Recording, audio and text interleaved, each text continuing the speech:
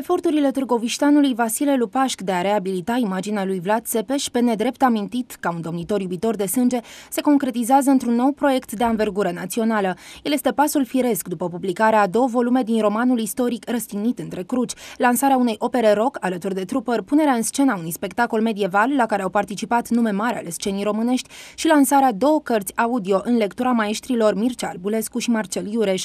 Proiectul Străjeri la porțile raiului va include slujbe religioase valoroasă pentru sufletul celui care, deși a rămas în izvoarele vremii drept un luptător pentru cruce, a ajuns în ultimii ani să fie asociat cu imaginea satanică a vampirului Dracula, conferințe științifice susținute de istorici renumiți, un spectacol de teatru, concerte, concursuri școlare, lansarea unei piese de teatru radiofonic, o paradă militară și, foarte important, transmisii din toată țara către Târgoviște, capitala apricului luptător. Proiectul este sprijinit și promovat de Bat Events, o importantă agenție de publicitate din România, care are în portofoliu multe firme și companii cunoscute la nivel european.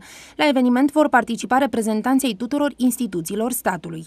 Am trimis deja invitații instituțiilor reprezentative ale României și răspunsul dânșilor este deosebit de favorabil. Sunt convins că foarte puțini oameni înțeleg importanța covârșitoare a voievodului Târgoviștean și cred că a sosit momentul să remediem această nedreptate, să facem dreptate făcătorului de dreptate. Cred că, strânși în jurul acestui adevărat simbol al dreptății, oamenii de azi își vor regăsi mai ușor identitatea și rostul istoric, a mai precizat pentru Universul Dâmbovițean scriitorul Vasile Lupașc.